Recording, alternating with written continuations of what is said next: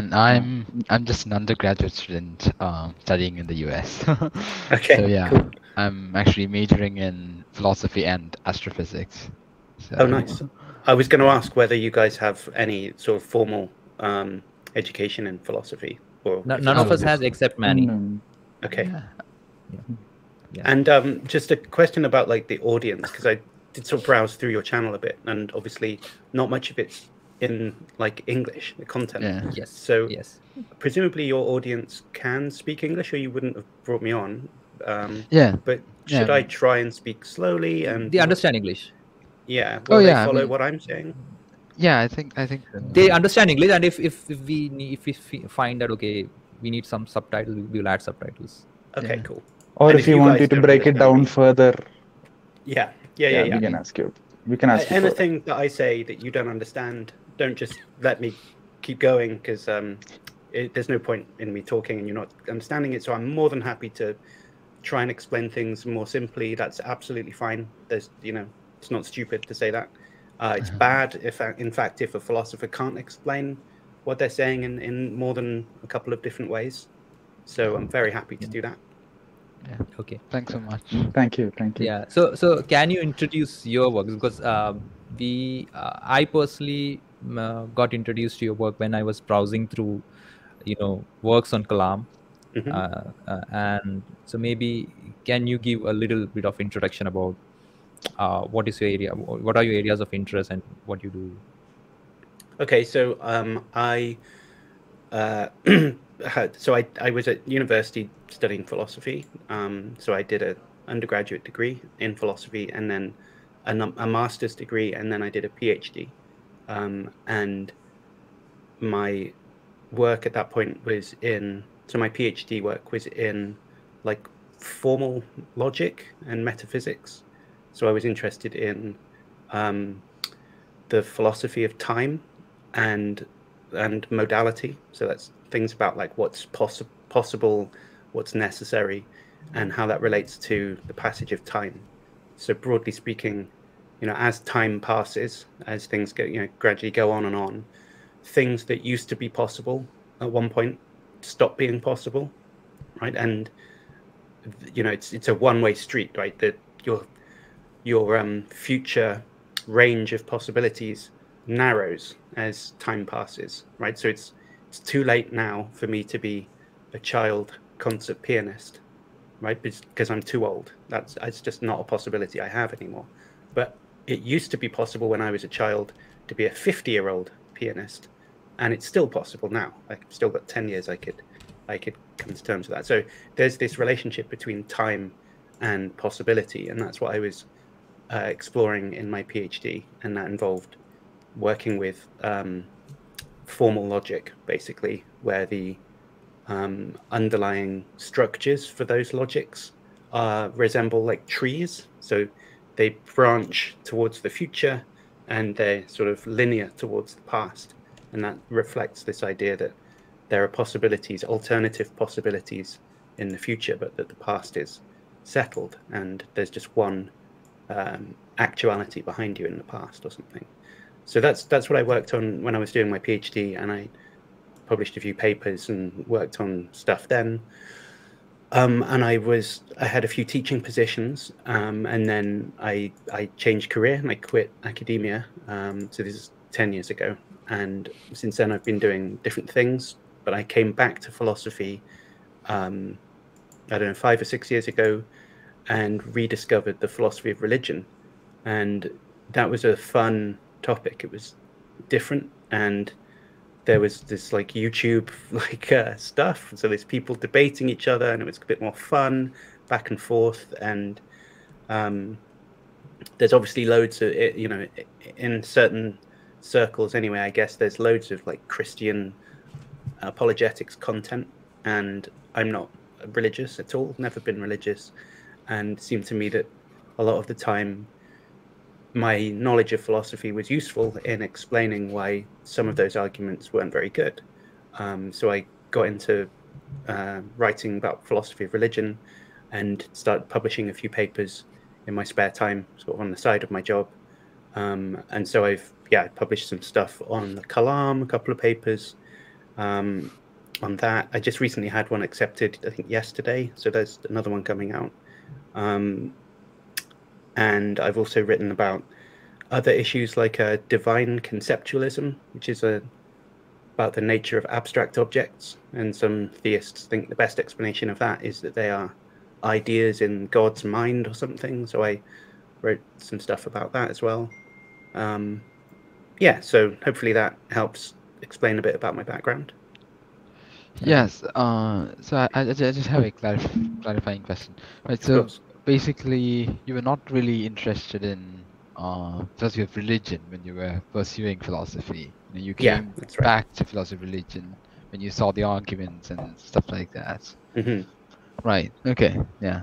That's interesting. It was like YouTube content that got me uh-huh. back into philosophy of religion.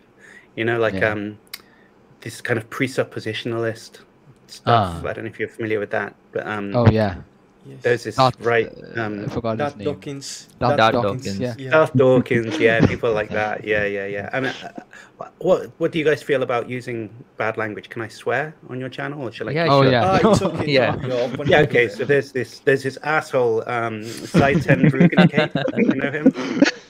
Have you heard of that guy? Well, anyway, he's he's a complete Yeah. he's a big idiot, Yeah. hustling. I think Yeah. we had a small discussion with Yeah, him. we had few Did you? encounters with him in Clubhouse. Like, Clubhouse, we u- we used Yeah. to have discussions in Clubhouse. I see. Yeah, yeah, yeah. And that, yeah. that type of thing kind of triggered me back into being uh, Uh-huh. in philosophy again. You know, it's like if Yeah. people like that are getting away with, you know, amateur level stuff like that, I Yeah. know, could probably do some something helpful or, or whatever. I don't know. Also, you Yeah. have your own YouTube channel, like Thoughtology series. And hmm I haven't Yes. done anything on that for ages, but yes, it's still there Uh-huh. technically in the background. I, I, Yeah. occasionally I think about resurrecting it, but um, yeah, work work has got me busier these days, so uh, less Yes, time and you you also have a blog called Use of Reason, right? Yes. Yeah. Yes, uh, Even and, uh, longer since I went to that, but yeah, absolutely. Yeah. that's true. So, so uh, I borrowed a quote from your blog. Like you said that uh, philosophy uh, is to expose the folly of arrogance. Like as a grenade, it can go off from your own hand. So Yeah. yeah. So I like the quote. I actually put in my bio for a few few times. Yeah. okay, cool. very nice. Yeah. Yeah. Yeah. So um, I have question. Uh, Manny, you were going to ask something, or Oh yeah, um, you know, I was just saying, I think we have similar histories, you know. I mean, the Mhm. reason why we started this project uh, in India is because of um, apologetics like this, you know, like dishonest apologetic strategies. Yeah. You know, sort of like these arguments that say, okay, I mean, philosophy dictates that you have to be a theist. You can't be a naturalist, right? You're irrational. William Lane Craig kind of proved that you know Christianity is true, so you can't get away from it. All these Yeah.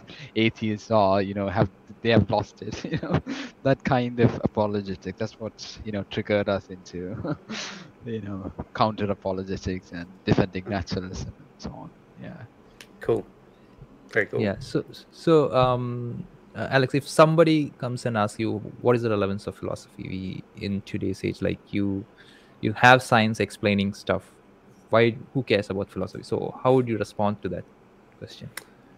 Um, well, yeah, okay. So, um, philosophy does a bunch of stuff that's um, it looks at questions that, for various reasons, are not um, applicable to scientific investigation.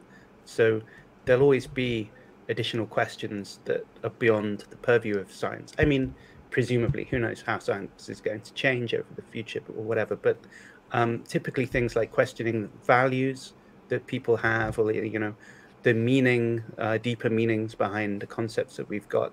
These are not empirical questions where you can do an experiment to find out what the answer is. Um, finding the answer is messy and often there's questions about which methodology you should use to answer those questions. So there are questions you know going quite far down the like you can question things about the questions that you're asking. Does this even make sense to ask these types of questions? And what does it mean to make sense to ask these types of questions? Blah blah blah. So it's naturally um, philosophy is just like um, a collection of different areas um, that have more or less to do with each other, but that basically are all uh, a big bucket that you put things in when you don't know how to deal with them empirically. So, um, you know, take philosophy of mind, for instance, like what, you know, questions about the nature of consciousness or whether we have free will, um, those types of questions. Maybe there's some room that you can make through empirical investigations. And like, if you can, then cool, that's fine by me. I'm not trying to say that you have to do one or the other, but it's more that like at a certain level, the empirical uh, progress gives way, and all all you can do to try and make any further progress is is use your own like thinking and reason and see if you can illuminate uh, any any deeper down without the use of um, scientific supports. So there's like it seems to me that they're complementary. Like at some level, um, scientific questions like bleed into philo- philosophical questions. Like um, you have philo- philosophy of physics, for instance, is questioning the kind of concepts that underlie our physical theories, um, and it's there's the boundary kind of moves as science changes and as people's appraisals come and go. But like, you sometimes you can be doing physics and wander off and find yourself doing philosophy of physics because you're asking questions that are about physics but they're not straightforwardly empirical.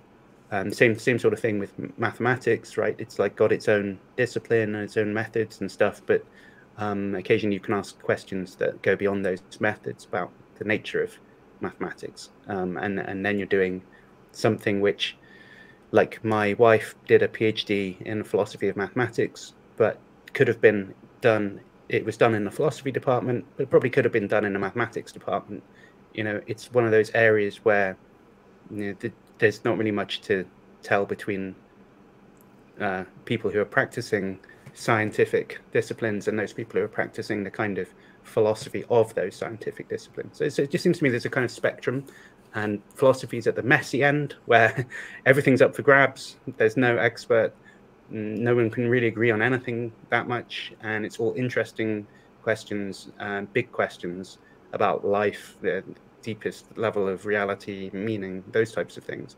And in the different directions that those messy questions point, often there's settled methodologies where you can investigate it concretely with empirical science or whatever, and you can find stuff out. Um, but yeah, always at some level, it disintegrates into a big messy kind of uh, conceptual ground where people are still fighting over uh, everything, and that that's philosophy in, in my view. Okay. Yeah. Uh, uh, so this there's a uh, you know sub question related to it. So it you know people can ask then what is metaphysics then Mhm. you know and how is it relevant? Uh, because here when somebody says metaphysics, they are trying to explain some supernatural you know phenomenon. You're saying yeah, this is what we are telling is not physical things. We are talking about metaphysical things. Okay. So they are using metaphysics as supernatural. Yeah. Uh, Above physics. uh, yeah, yeah. Above, it's it's it's it's you know unrelated Beyond to physics, physics, beyond right. physics and beyond uh, Yeah. you know natural realities. So they say that's what we are talking about, and atheists cannot understand metaphysics. So.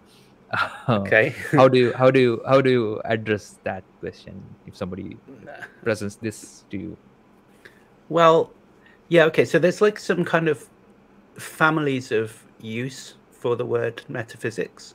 So on the one hand, you see metaphysics being used in connection with things like um, meditation and yoga and stuff like this. And what they're talking about there is a kind of religious uh, token. It does it doesn't really mean very much. It's like the term spiritualism or something. It's you know it's just a kind of word without much theory going on that's just there to you know make a practice sound more uh, respectable or something. In my view, it doesn't.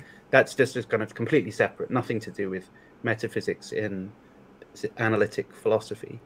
Um, there, as you're gesturing to, it's like has this sort of etymological root, like the kind of origin of the word. Um, metaphysics is comes from this kind of like well meta meaning kind of beyond or about or something, and, and physics meaning this study of like um, causes and effects or something along those lines. And what that's really going back to is classification of Aristotle's work, right? So Aristotle, this like ultimate Greek philosopher guy, lots of his work was maintained through the Middle Ages. So he's been incredibly influential for it for throughout the whole of Western civilization. Um, he has a book called The Physics, and then there was another collection of notes taken by a student in his lectures, which were about more fundamental questions. And that collection of notes was compiled together at some point in, you know, absolutely ages ago, I don't know, fourth century or something, I don't even know when, compiled together um, into a book and basically placed onto a library and classified by a librarian as belonging after the physics book. So it literally just means the next one on the shelf in this library after the physics one. That's that's why he called it metaphysics because it didn't have a name. It's not a book that Aristotle wrote. It's just a collection of notes that somebody else wrote whilst attending his lectures. But we call that a book by Aristotle, and we call it the Metaphysics. Now, commonly, we we use the term metaphysics now to pick out the subject matter that Aristotle was talking about then. Um, but yeah, it's you know the the etymology is strange. It's it's a bit of a weird word. It doesn't have any real connection to these other sort of metaphysics, or it doesn't just straightforwardly mean like um, there's there's matter or material or something, and then if you believe in uh, anything beyond that, like a god or something, then that's metaphysics, and physical stuff is not metaphysics. That's not right. It's not following a simple classification like that because you can have um, talking about the, you can talk about the metaphysics of physical reality. And if you think that the world is made up of, I don't know, atoms and they have one or two fundamental properties like position and mass or something like that, then that's a metaphysical view um, about physics.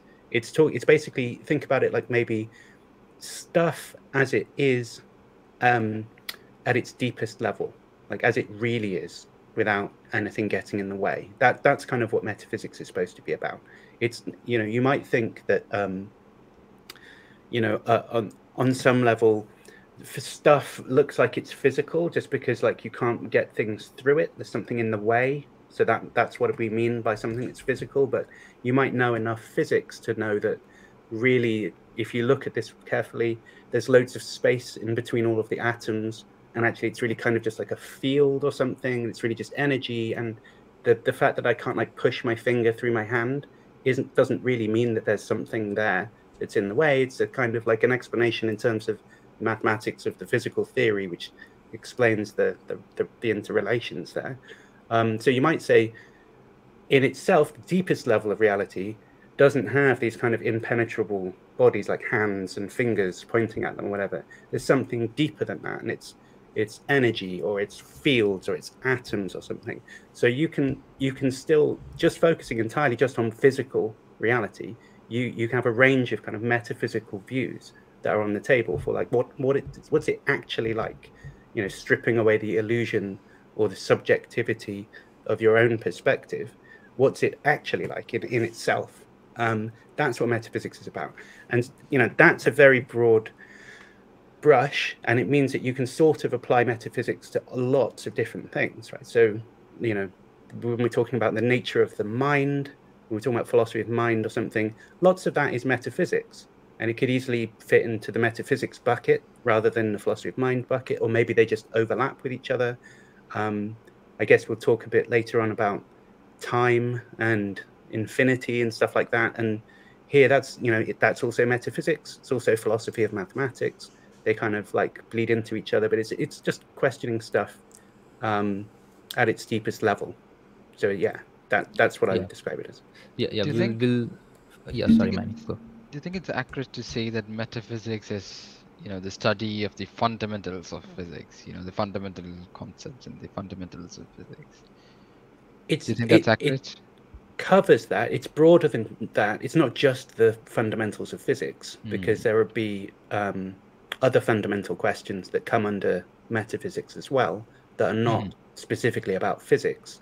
So you might Yeah. talk about um, the nature of truth or propositions and that type of thing. It's not really physics, but it is metaphysics. So Right. I, I think while the fundamentals of physics do come under metaphysics, it's an umbrella that's broader than that. Right. Yeah, that makes sense. I think the easiest so- thing is just to like see lots of examples of what metaphysics is and sort of get your head around it that way rather than having a definition and that leading you to something, right? Like Yeah. propositions, mind, space time, uh, morality, like all of these things can be metaphysical. Um, Okay, uh, I think we can go to the arguments.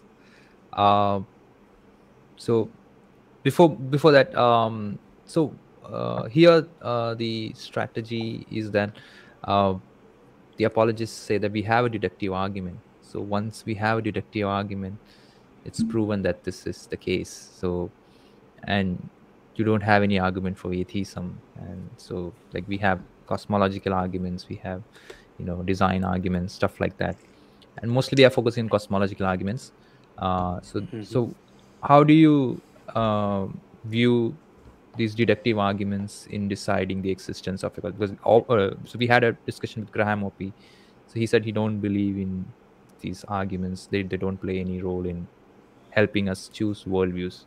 So how how do you see this uh, you know nature of arguments Well, I do think that arguments can be very useful. I mean, I like Graham's views on this. I find them very helpful. Um, so I'm not just going to repeat stuff that he's probably already said to you because that wouldn't wouldn't be very helpful. But I do think um, so. There's a, there's a limit to arguments. They have their place, um, but there's a limit to them. I, I'm not one of the type of people who thinks you can deduce very much just using arguments um, you can you can suggest things and you can certainly have a view and defend that and come to come to a position that seems the most reasonable to you. But i think that that's a long way away from you know establishing beyond any doubt uh, certain things right? So for instance if we're talking about metaphysics these big fundamental questions like what's the ultimate nature of reality? Blah blah blah. I just sort of i kind of think my basic position, and it would take a lot to get me off this, is that you probably can't say for sure very much about that, even with arguments, even with really good arguments. A really good, really strong argument will provide less than completely compelling evidence for claims like this. Um, so, you know, what are the importance of arguments? They're they're fun. They um, can expose when we think two contradictory things, and we don't like that, and we need to clean our uh, worldview up. We need to tidy things up so that it's uh, making more sense. And arguments can bring that out because they can show you that, well, if you believe this one thing, another thing would follow, and you don't like the, the other thing that follows. So what are you going to do? You know, you're kind of in a in a, a pickle, and you have to do something about that. So arguments can be useful for like um, cleanliness, the cleanliness of your own beliefs and your worldview, bringing out those tensions. But I don't see them as a particularly, it's, it's they're not like a great truth-seeking method for finding things out and this kind of solemn, you know, knight of truth who charges into battle and discovers these deep fundamental facts. I don't see it like that. Um, often it's quite nice to just do it do to investigate an argument um, for its own sake, just because it's interesting and the questions that it brings up are independently interesting, not because uh, necessarily it's getting you somewhere. So I guess it's like one view of philosophy where what's happening is like cumulative, like each generation establishes something and the next one builds on that and the next one builds on that a bit like scientific or or kind of like mechanical processes or whatever and we've we've we now know how to build planes and you know before that we had to build cars or something and like the the knowledge like builds one on the other. Um, you could think philosophy is like that um, but another way of looking at it is that philosophy is like um, cleaning your room where you have to do it but even if you do and you make your room perfectly clean you're going to have to do it again next week and again and again and it never goes away. Uh, but what's happening is you're kind of fighting against the messiness that's going to encroach on your space otherwise So philosophy sort of makes progress, but it's progress in in uh, doing something to keep it hygienic rather than sort of a linear progression that's taking you towards a destination. Um, so yeah, that's how I think of it, things with these arguments. It's it's So, fun uh, to yeah, do, so and you- it's good to not get caught in a trap or something. Sorry, go on. Yeah so uh, you you are saying that these arguments will not give you like 100% surety about metaphysics like you you you can hold it as your personal view uh, but it doesn't convince the person with an opposite view is that what you're trying to say It probably won't. Yeah, it probably won't convince people of the alternative view, and I think it's. Um, I think that's the mature thing to think is that an argument isn't going to um, completely change your mind. It might do, but I mean, most of the time, it probably won't. And I think modesty is the key here to be realistic about what you can and can't really know as a person. You're, you know, you're a finite creature who's on, who's awake and conscious for a very small amount of time, realistically, and some things you're never going to know. You're just not going to know them, it seems to me. And um, there's a kind of railing, psychological effect of like railing against that reality of being finite and trapped in something where you'll never fully comprehend it. And people don't want to be like that. So they want to think that they've got a key that will get them to the truth, kind of shortcut through all of the, the mystery and the ambiguity and find out what's really going on. And I think sometimes people use arguments as if they are this special um, cheat code or something which gets you to uh, establish the truth. And I think that's all very arrogant and full of um, kind of immaturity and sort of maybe fear about not understanding your position in the world or something. And um, yeah, I'd, I'd rather just try and learn to live with that rather than trying to pretend that I've made my way through to the end or something. Does that make sense? Yeah, Yeah, yeah, uh, accepting we- the we- ambiguity in some issues, right? Mhm. So you have Yeah. to accept that there, there, there are some issues that are ambiguous and you don't have like clear answers to those questions. You Yeah, might, There is always room basically for doubt. the, the, the yeah the, the issue that we have is like we have this uh, propaganda uh, that hey we have this argument so if this argument uh, is valid so and if you don't have any answers to the premises then this is logically proved that god exists or something like that and that's where uh, you know it's it's kind of hard to address such claims so that's why we are you know asking professional philosophers what are your views on this yes so yeah, usually they come with like a, a kalam Yeah. and they say, see kalam, see there's so there's a god. See the contingency argument, so there is a god. So Mhm. yeah, what you said Yeah. makes a lot of sense. Yeah. Yeah, yeah. so um, what's your view on contingency argument? Like if somebody says hey uh, how would you address contingency argument? Um, Well, like you um, have contingent beings and you need a necessary existence to explain these contingent beings? Yeah, so there's lots of different formulations of the argument, um, and I think they broadly it depends how you classify it, but like they're kind of associated with this uh, German philosopher called Leibniz, who is like uh, 17th century, I want to say, um, so, or maybe 1700s is what I mean. Anyway, um, an old old dead European guy, and um, he has this idea that basically um, so so there's a distinction between things being contingent and things being necessary right and the distinction is that contingent things or contingently true things um, they are true but they could have been false right? Like this this glass here has water in it but it could have had tea in it right? It could have been false that it has water. It's true that it has water but it could have been false. And then there are other propositions like uh, 1 plus 1 equals 2. That's true, but unlike the glass of water case, it's not true that it could have been that 1 plus 1 equals 3 or something, right? That's, that's uh, it's necessarily true that 1 plus 1 equals 2. It's not contingent. So, armed with that distinction, you can start to see the contours of the argument because there are lots of contingent facts. And the thing about contingent facts is that um, it certainly seems, anyway, when you start looking at them, that each contingently true fact um, has something that explains why it's true rather than false. Right? It could have been false, um, but it is true, and that that means that there's something which explains why it's true rather than false. And so, if you ask why is this glass got water in it rather than tea, or rather than not having water in it, then it's you know there's some explanation about what I did a few minutes ago, filling it up. And then if you ask why I did that, because that was contingent, I could have decided to do something different. Why did I do that? You you know, do you find that you're starting to look at a chain which is going back. Each step has, um, if it has a contingent thing that's doing the explaining, then you can ask a question again about that. Well, why is that this way rather than a different way?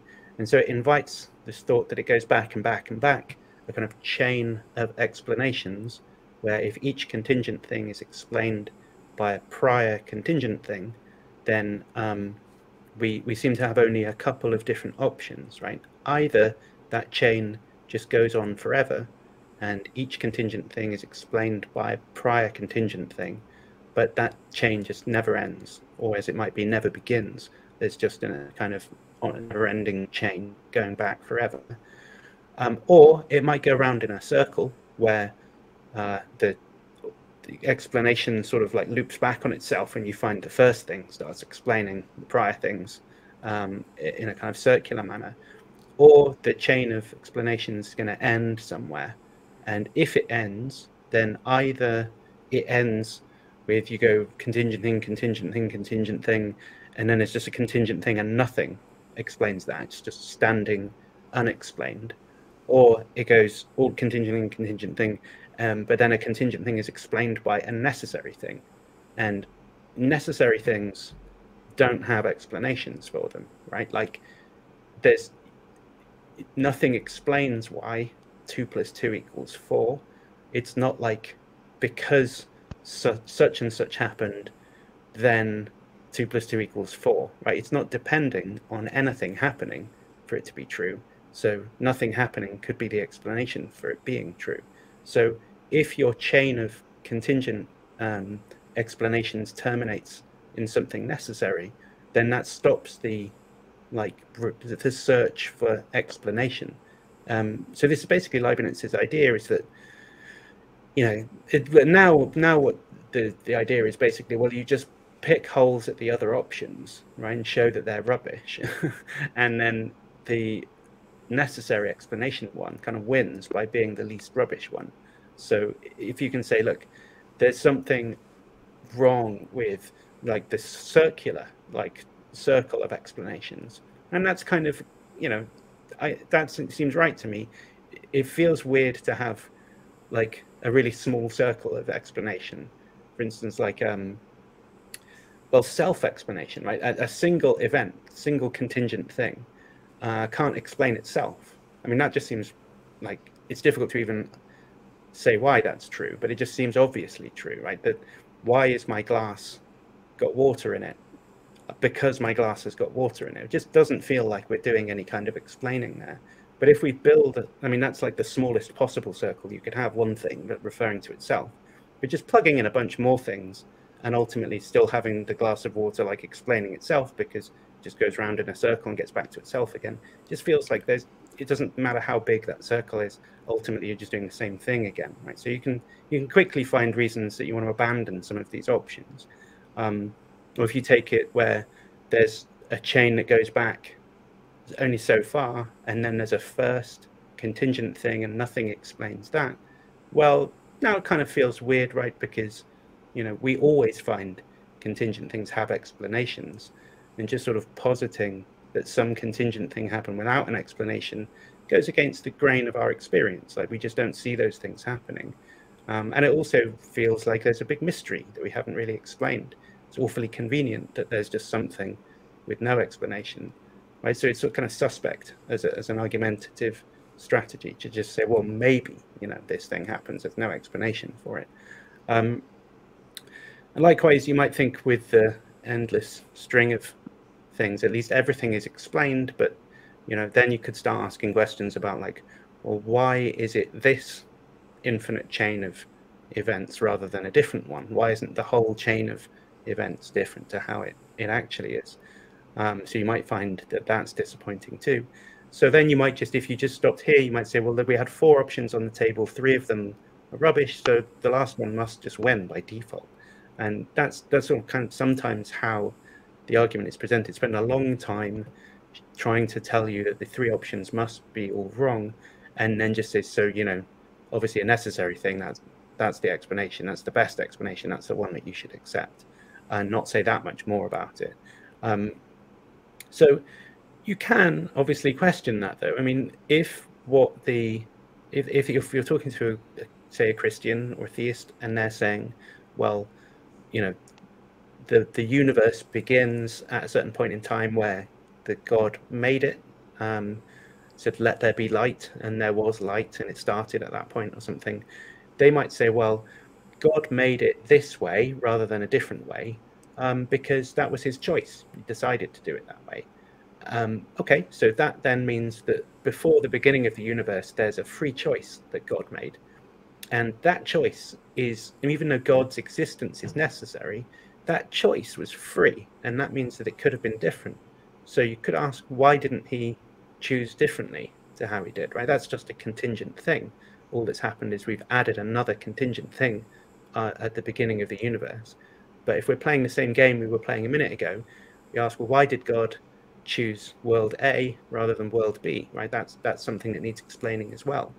Um, and you know they don't want to they don't want to have to say, uh, well, there's a big chain of things that led up to God doing that, right? It's because in the morning God got up and he was like really liked A things that day instead of B things, and you, you don't want to have any kind of story like that because obviously it's not going to go anywhere. What they need it to do is terminate in something necessary. But if you say, well, look, God, by his nature, has to make this specific world and not a different one, well, that's okay because now you're terminating the sequence in something necessary.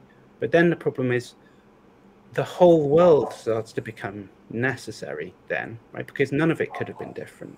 So actually, we started off thinking that the glass of water was contingent, but actually it's necessary because God made the universe exactly like this and not a different way. So it's like this kind of call this a collapse, a modal collapse argument. You might hear this term sometimes, where it's like if you've got um, a necessary proposition, and that proposition implies another proposition, right? If A is necessary and A implies B, then it just follows by logic that B is necessary. Yeah, and and because of that, people will say you can't really have God like being compelled and necessitated to pick one of these options. But it doesn't really work if he's doing it freely either, right? So actually, I think my view on this is that when you look at it, the, the kind of God explanation isn't really a distinct explanation. It's either uh, you get this collapse thing if what he's doing is necessary, or it just turns out to be no different to just saying, well, there's just this contingent fact that has no explanation for it. Like God just picks world A rather than world B because he did. There's just nothing else you can say about it.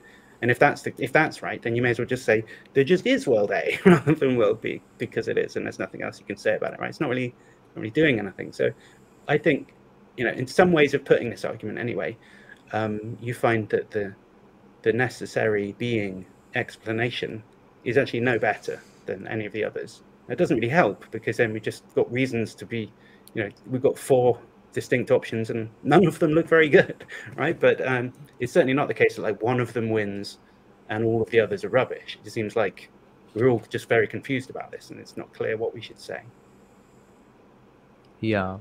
So Yeah. even yeah, even we share the same thing. Like all the con- most of the contingency arguments that they present has this you know issue of falling into modal collapse. Cool. Yeah. So now about the Kalam. So it looks as if uh, so so we know the Kalam cosmology like everything that begins to exist has a cause. The universe began to exist, therefore universe has a cause. And from your works, it's it looks as if you are rejecting the premise to the universe began to exist, because most of your work is all about infinite regressions and infinite causes. Uh, you know, defending those views. Uh, is that the correct understanding? Yeah, you're defending. That's right. So I would say it like this, though, that I'm not um, it's not so much that I'm rejecting the premise, but that I'm rejecting the reasons for thinking the premise is true. Right. So Okay. it, it might be true, but I don't think the reasons given are good reasons to think that it's true. okay yeah so um and uh, so when kalam is presented in the particular you know youtube or facebook discussion it's it's presented as if infinite regression is a logical contradiction Mm. so how do you address that like infinite regression is a logical contradiction Yeah, I think it's you know usually a strategy peddled peddled by William Lane Craig and his followers. You know, Mhm. Uh, actual infinities are logically impossible, right? So you know you can't have an actual infinity. The universe must begin to exist, and so on. Yeah. What do you think about? Yeah. So, so in the William Lane Craig way of looking at things, right? There's two strategies he normally uses as philosophical arguments for um, for showing that there couldn't be specifically an infinite past, right? Um, so that there must have been a beginning in time. Um, like often he appeals to scientific stuff, you know, like the Big Bang, blah blah blah. I'm not going to talk about that. Just looking at the philosophical things, he has two broad strategies, right? So the first one is to focus in on things related to the Hilbert's Hotel argument, and then the second one is this thing that's called the successive addition argument. Um, and I think that they're both uh, questionable and certainly no, it, you know, there's lots of room for honest, reflective, intellectual disagreement there at, at a minimum. And uh, I certainly think that, for instance, the Hilbert's Hotel argument, um, just there's no logical contradiction at all. I mean, even Craig thinks there's no logical contradiction there, and people saying that there is one are misunderstanding what he's saying there. Let, let's say they, they bring some thought experiments. They say that if you have a moment now it's it's impossible to have this moment if there is a beginningless past. Because uh, if it's beginningless it will never complete. But you have the completed series of events so there is uh, so it's a contradiction so you cannot have. So how do you address that question? Um, I think, yeah, I think it's good to you know kind of differentiate um, metaphysical impossibility and logical impossibility, Yeah, right? Because right. Craig in his Yeah. works, right, philosophical works, he talks about actual infinities being metaphysically impossible and lays out Yeah. the reasons for that. And in his debates, you know, he just shifts to like logical impossibility, right? Actual infinities are not uh, possible logically, right? I think you responded to Craig in, in, in a documentary, right? So you would know about that stuff, and and he kind of reacted to the documentary, and he admitted that, you know, he's only talking about actual infinities being metaphysically impossible. Yeah, Right. that's right. Um, I had a debate with William and Craig, and he said it out explicitly when talking with me that it's it's a meta- metaphysical impossibility, not a logical, like a strict logical impossibility. So it's not the case that like, um, uh, at least for these arguments anyway, it's not the case that like you suppose that an infinite past is possible, and then it uh, both p and not p can be derived from it, like a contradiction, straightforward contradiction like that. That's not what's going on. Certainly, with this Hilbert's Hotel style argument, what happens is the consequences of the argument are absurd, right? They're like weird and like counterintuitive. So you know, infinitely many hotel, uh, infinitely many guests can check out, um, and it can still be full. That type of thing, where it just doesn't seem right. But it's not the same as saying there's a contradiction, like some proposition and its negation at the same time. So that's kind of like one way that philosophers can come come to agree that something is wrong is if it entails a contradiction, and he hasn't shown that it entails a contradiction and doesn't claim to uh, with with this type of Hilbert's Hotel argument. So it's right off the bat there. um, it's yeah, there's this misunderstanding of, of what he's up to, and yeah, maybe he does switch in the debate mode to what he's saying. I don't know. I haven't watched all of William Lane Craig's debates. I've read some of his published philosophy, and he doesn't say that type of thing in print. I can certainly say that. Um, and and in, when I talked to him, he didn't like try and say one thing different to, to how he writes. He was he was consistent with how he writes. So I can only speak to that. Um, on this argument where we couldn't have got to now if the past was infinite because it well because it would have taken an infinite amount of time to get here it just seems to me that that's just what it means for there to be uh, an infinite past it's like yeah there would have been so if if there was no beginning to time then sure infinite amount of time has already passed that's true now. It's also true yesterday and the day before, um, and that's fine. And someone saying, well, it couldn't have got here because it would have taken an infinite amount of time to get here, just seems to be begging the question because, well, why, why couldn't an infinite amount of time have passed? Just saying that something like there's too much time you know, we would we would still be on our way here or something. That just that I just don't understand these things. That's just that's not right. Like, and if you think about just trying change change it round, so we're talking about the future instead of the past.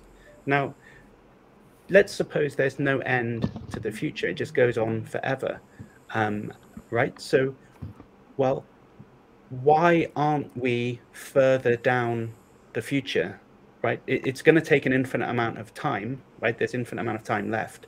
So you, but you nobody's worrying about like why now is now rather than at one of the future times, one of the infinite future times. It's just not an issue at all. Nobody thinks like that, and yet it just seems completely symmetrical to me. Like it's taken an infinite amount of time to get here. I don't really understand what the problem with that's supposed to be. If someone can explain that, I'd be very grateful. But I, have read a couple of these types of arguments, and it just it just I don't. I think there's just nothing to that argument at all. That's like the worst uh, version of this argument, actually. Mm. So I would keep asking someone, yeah, but why do you think that's bad? What am I supposed to be worried about? Where are you going? Um, and all too often, it's very easy to say superficial things and, and feel like you're you're mic dropping because you've said a habit that, that you know we would have never got here. Boom! I've won the debate or something.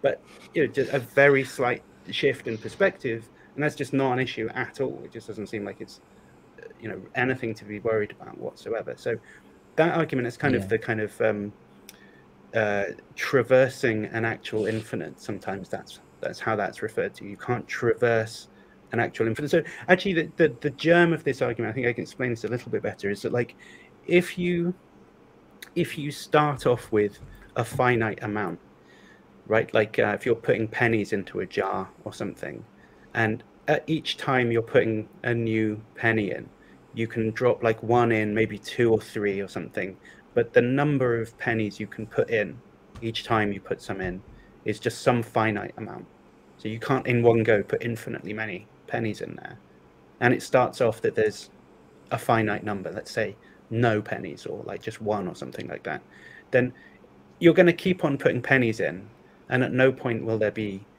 infinitely many pennies in this jar, right? But and one way of thinking about why that's the case is that like if what you've got is a finite amount and adding any finite amount, even if it's a million pennies or a hundred million or whatever, it's never going to make the difference. It's never going to transition the amount that you've got from being finite to being infinite, right? It's not finite amount uh, can never kind of go beyond the finite by just the addition of some finite amount.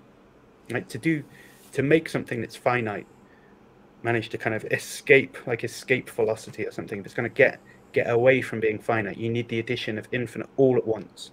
I mean, if I add an infinitely many pennies to one penny, now I've got infinitely many pennies. That's cool. But if I can never do that big jump, I can never escape the kind of finitude of what I've got in my jar.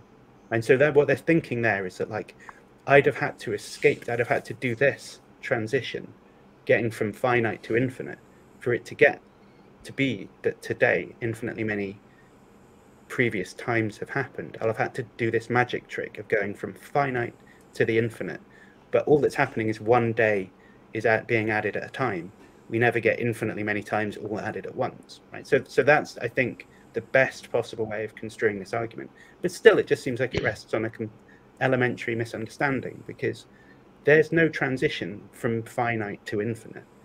Because at every previous day in the past, if there's no beginning, for every day, there's already been infinitely many days. Right?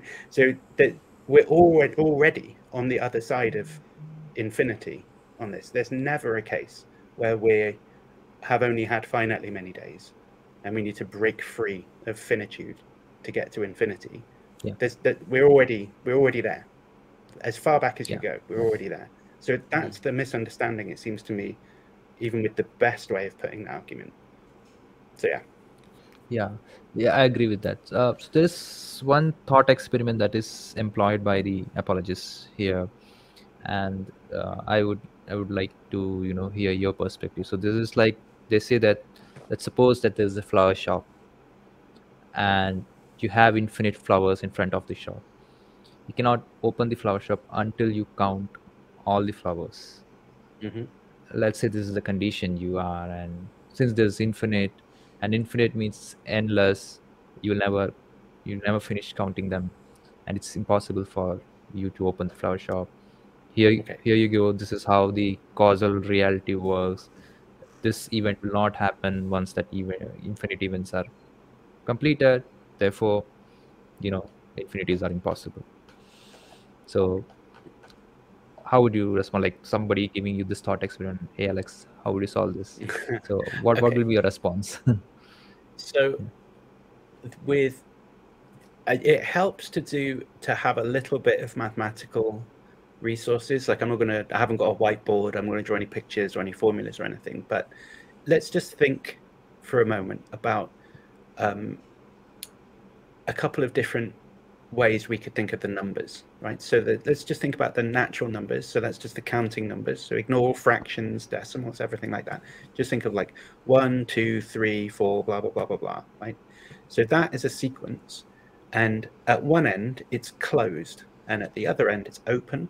What I mean by that is just that there's a first number, which is one, or if you like, zero, however you want to pick, right? There's some, but there's some first uh, number. And then going up in the other direction, in the kind of greater than direction, there's no last number, right? For every natural number, there's another one that you could count. And now, so it, the sequence has a beginning with one, but it doesn't have an end. It's endless. Now, there's another type of sequence which is also infinite, which is kind of the mirror image of that, right? Which is like think of the negative numbers. Um, so with that, there's a last one that's minus one or zero, however you want to do it, but there's no like first number because for every minus number, you can think of one that's you know one less than that. Exactly the same Yeah. reasoning. So they completely mirror each other, and they're both infinite.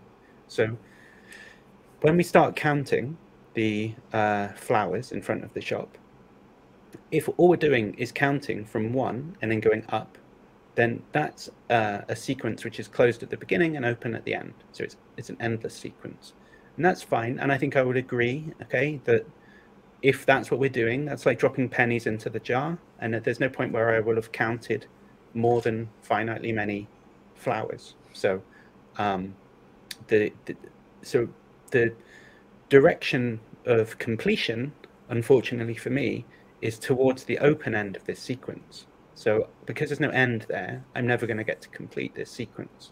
So I'm I'm never going to finish. So I'll never open the shop. But the difference now is that when the apologist is talking about um, a beginningless past, they're not actually talking about something that starts and gets bigger and bigger and bigger. What they're talking about instead, if we needed to draw the analogy, is the negative numbers. And that, the direction of completion is towards the closed end, actually. So I can complete this, right? So if I've been counting flowers forever, there will only be so many flowers left, right? And you know, it's like counting down. If I've been counting forever and I'm counting, you know, minus a million and one, minus a million, minus 999,999, minus 999,998. Th- There's some finite amount of time before I'll finish. Right. So where, whatever stage I'm at, no matter how many I've got left, I'm traveling. My direction of completion is towards the closed end of this sequence. So that's good news for me because I will finish at some point and some finite point in the future. So I could have been counting down, uh, counting my way through the flowers forever and open at like three o'clock this afternoon because maybe I've only got a few flowers left and you know I'm good at counting them by this point. So I, I will get to finish that. So the apologist needs to make sure that their counting sequence is infinite in the right way. Like if it's infinite in a sequence that's open towards the direction of completion, then fine, fair enough. But I'm not going to finish that. But then the issue is that it's not really analogous to the infinite past. Actually, it's more like the infinite future. If they really want to show why the infinite past is impossible, you need to have a sequence which is open in the other direction, right? The stuff that's just happened, but it's closed in the future direction, right? Like I've only got like 10 numbers left to count or something, and then have counted all of the infinite numbers, right? If I'm so a count down, it seems to me can be completed, even if it's infinite, but an infinite count up can't be completed. And there's a kind of asymmetry there. And what the apologist normally does is point to an infinite count up being impossible, and then just say, and therefore an infinite count down is impossible. But actually, what they're doing is that they're appealing to something about, as I was saying, the direction of completion being in the open end of the scale. And then they say, well, so therefore it matches for this other sequence, even though that's not true on the other sequence, because the direction of completion is towards the closed end, right? So, so they're actually mm. asymmetric, and they need to not talk about count ups. They need to talk about count downs. It's mm. actually much harder to find a reason that's good for why you can't complete an infinite countdown. And so, anytime anyone gives an analogy like this, I'm thinking, okay, it's a count up, so it doesn't matter. It's irrelevant. Count ups are just not part of the. I'm just not interested in that whatsoever. And you never hear anyone really give you an example of counting down. Now, there's one type, one type of analogy that I sometimes hear where you get this one where, like, so there's a sniper and he needs to get permission from his Yeah. uh, boss or whatever to shoot the target, but his boss needs Yeah. to get permission from his boss, and so you have this hmm. idea that like the chain of permissions is going to go back forever, and then they need to also tell him that they've hmm. got the permission, so it's going to come all the way along an infinite chain towards the open end, and then come back again towards the closed end. Well, that's not going to happen. I agree, but that's only because going in this direction is endless. Like there's an endless chain hmm. of people asking their superiors for permission. Yeah. The direction coming from the superiors, you could just imagine that they didn't have to ask first, and just forever there's been an, an endless chain of superiors telling their subordinates, "Yes, go and kill the guy." Next one tells him, "Yes, go and kill the guy." Yes, and that's been going on forever. And it just so happens that the last person hears it this morning at three o'clock or whatever, and he shoots shoots the dude. Now I'm not seeing a contradiction there. If you Yeah. if you just have that Yeah. one Yeah. relevant chain, so yeah, that's that's my view about that. Yeah. So, Yeah. so in in short, you're trying to say that most of the thought experiments are not analogous to what is uh, the causal reality, or if the time is Infinite past. stuff like that. That's right. Yeah, Infinite they're more about the infinite future, not the infinite past. Yeah. Yeah. Ma- Manny, Right, what, you uh, wanted to add what- Yeah, so Yeah, I was thinking, you know, so uh, technically you can finish counting the flowers, right? If you do it in uh, in the fashion of a Zeno's series, right? For example, Y- You Graham mean if you get Oppy, quicker quicker? Yeah, Yeah, kind of yeah. like super task. yeah, Yeah, so kind of like a su- super task, right? So imagine you have a ball, right? And and this ball is bouncing on my table, right? Mhm. So it's it's up at one meters right now. It bounces on the table and then it goes back to 0.5 meters and then half of that and then half of that and none of that.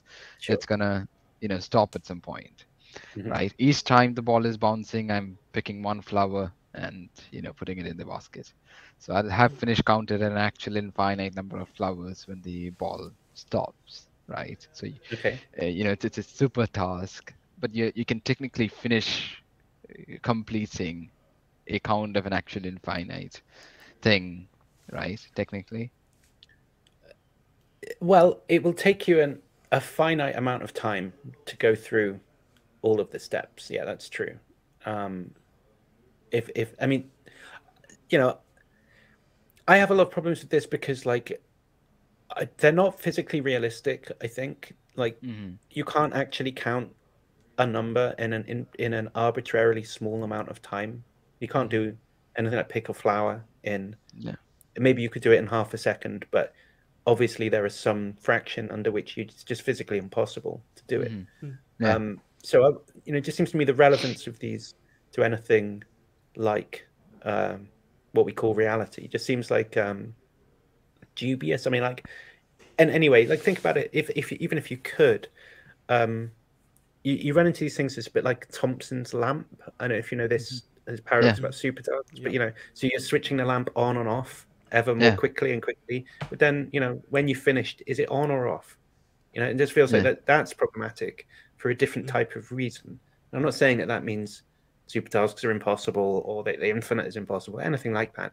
But these those sorts of experiments are less clear to me.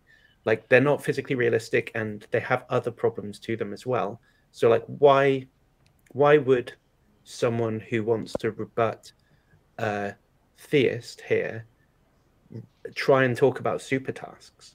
Because I think it doesn't help them if you want to try and mm-hmm. make things clear, you're bringing up something which has its own problems with it, and it's not Mhm. realistic, so it couldn't really happen. But I don't think you need that in this case because the problem Yeah. is with the person making the argument. They haven't given an argument why Mhm. the infinite countdown is even impossible. Like they've given an argument that looks at something else. So just keep their feet to the fire, keep pressing them to explain it and Mhm. question them about it. You don't need to go to the possibility of a super task because now you're on the back foot having to defend this. And now, Yeah. you know, as a strategy, I just wouldn't bring it up, I think, Yeah. in this context. Yeah, right. Yeah. That makes sense. It's, it's easier to explain, you know, how their reasoning's wrong rather than, you know, bringing in another concept and trying to explain that to them. Right, Yeah. That makes sense. That's right. You don't want to you don't want to shift the burden of responsibility to you now Mhm. having to defend something, Mhm. right? It's if they're making a case, they have to defend that case, and Mhm. all you need to do is pick it apart. Right. Alex, Yeah. what do you say to a theist who comes and say, "Okay, I'm going to grant you that uh, infinite past is possible, it's traversable." So let's just say I'm sitting here and uh, some guy just comes four, three, two, one. Yes, I'm coming from the infinite past. And then five minutes later, another guy comes and says three, two, one. Yep, I'm also coming from the infinite past. And there is some, there is some kind of absurdity or something about that. Or uh, how do you respond to that? How can two guys come from the same infinite past and reach at two different times? Well, um, you can say things about them that explain that. Like, so let's say they've been saying the numbers at the same rate as each other forever. So it's not like one of them speeds up and then sometimes forgets or something like that. They've just always been doing it the same. Then there's nice, easy facts about them. So this guy was always three numbers ahead of the other one, and they're counting it in, at the same rate as each other. So that's why one of them finishes three numbers before the other one. Feels like a good explanation to me. Like, what else are you looking for? Um, you know, so if it's just about contrasting why one finishes rather than at this time one of them finishes at the other, you can talk about their differences in their in the numbers that they've been counting. Ten years ago, this guy was counting 17 billion and four, and at that point, this guy was counting 17 billion and five, or whatever it was, 17 billion and seven, I suppose, right? And then they count at the same rate, so that's why they've shuffled along together and they finish three numbers apart from each other. I mean, what else are you looking for, right? So it seems to me that there's there's something to be said there. Seems like a perfectly good explanation. Um, in a way, it kind of entails it. Like if you say person A is counting at the same rate as person B, and person A will finish in like hundred units time, and person B, uh, and then we say that they're three units apart from each other, then it follows logically that person B finishes three units uh, Mhm. after person A, right? Because you can just pack in the information to like get an actual logical deduction of why one of them finishes at a different time to the other. Now, there's lots of things you can say that completely coherent, makes loads of sense. It is an explanation as strong as anything else. But someone might still say, yeah, but why? Um, like just relating their actions to one another is one thing, but like why why is either of them doing either of those things? You know, um, you, you might phrase it in some like deeper question like that. Or you might think you might think about one person, forgetting the second guy. First guy finishes now. Why didn't he finish a minute ago, or an hour ago, or a million years ago? You might think. This is how William Lane Craig puts it that he had enough time already to have counted through all of the numbers yesterday or a million mm. years ago. So how come he didn't finish a million years ago or yesterday? Why did he finish now rather than a million years ago? So when put like that, um, I think that, already, that initially sounds quite convincing. It does seem like, well, there must be no reason why he finishes today rather than some other day, right? Because he had enough time to finish it a different day. So there you go. But actually, and it's sort of elementary logical error here, um, which which is that like, so if you think about this conditional, right? Like, if someone has been completing an infinite countdown, sorry, let's say if someone is completing an infinite countdown now, so he's on three, two, one, finishes right now, then it follows that he must have been counting for an infinite amount of time because that's the only way you can finish an infinite countdown. I mean, assuming we're not talking about super tasks, right? A regularly spaced out countdown. If they finished it now, it follows logically that they must have been counting for an infinite amount of time. So it follows that there must have been an infinite amount of time, right? But it, think about it the other way around. If you say, well, if there's been an infinite amount of time, then someone would have been finishing a countdown now. That doesn't follow at all, right? Just because there's been an infinite amount of time doesn't mean that somebody's finishing an infinite countdown right now. I mean, maybe there's been an infinite amount of time and nobody's been counting down through it at all. There, there's never been an infinite countdown, maybe, right? There's nothing wrong with that, logically speaking. Um, so one of them entails the other, right? One of them is a is a um, sufficient condition uh, of the other, and the other is a necessary condition of the first one, right? And what William Lane Craig does, it seems to me, is to muddle these two things up, because he's saying this guy who's finished counting down today, that means that there's infinite amount of time preceding that completion, and therefore he should have completed it earlier.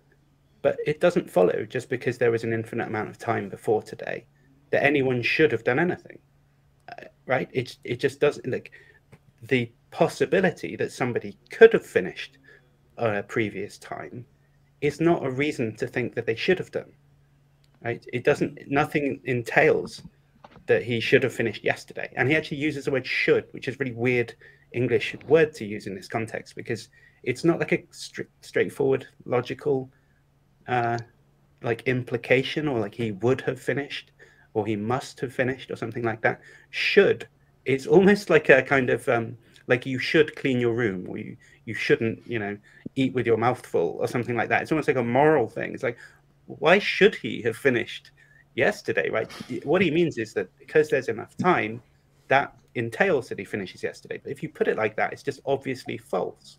Like there being enough time for him to finish yesterday doesn't mean that he did. And, and it just seems to me that's as straightforward as you need to get with it. It's just there's actually just not a logical reason that he would have finished yesterday just because there's enough time. Like think about it the other way around again, right? Let's say I start counting now and there's an infinite future in front of me. Well, I, I could start tomorrow instead, right? Because you know there's an infinite future, and uh, there's just as much of an opportunity for me to count through all the numbers if I start tomorrow as there is today. But it doesn't mean that I should start tomorrow, right? There's something like arbitrary about me starting today. Now I could do it arbitrarily, but maybe I've got a good reason for finishing, uh, for starting right now, mm, right? Like nothing of interest really follows. Um, and the future case is like very straightforward. I could start counting now, or I could start counting tomorrow, and either of those is fine. There's nothing logically problematic about it. But for some reason, when we switch it around and we start talking about the past, Now William Lane Craig is talking about should, and, and like where did that come from? that just comes out of nowhere. So I just think this is an elementary kind of mix-up. I'm not sure he's doing it on purpose. He probably isn't because why would you do that on purpose? But it's a yeah, it's a mixture of um, confusing a necessary condition for a sufficient condition. So it's you know like I said before that the implication is if I'm finishing an infinite countdown now, then there was an infinite past. Fair enough, but it doesn't work the other way around. You can't say if there was an infinite past, then I'm finishing an infinite countdown now.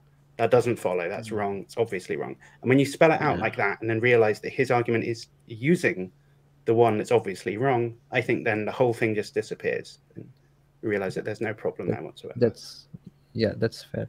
So, um, how would you address then this claim that okay, this is this sounds philosophically this is fine, but science will is telling us that you cannot have an eternal past. Like the second law of thermodynamics is saying that your uh, your entropy, you know, and I think I think the I, I'm I'm not sure of how, how they put it. I think they say that the energy is decreasing or something like the entropy is increasing or decreasing, and it cannot be past eternal. So uh, hence science is telling us that uh, this is uh, a finite universe. So even if your philosophical defenses work, science is pointing to a you know finite past. Well, um, so there's lots of things. So on specifically on this entropy question. So Mhm. Mhm. generally, it's like the entropy is the the measure of disorder in a system, and they'll say it increases over time. So things get more and more disordered over time. But crucially, that's only for a closed system, right? So it's talking about a system where the um, energy that's in the system is is is uh, closed. So there's not more energy coming in, because obviously you can see pockets where entropy goes in the other direction, right? And so this is a statistical law that happens across the world in general. Um, but you can think about, for instance, the Earth.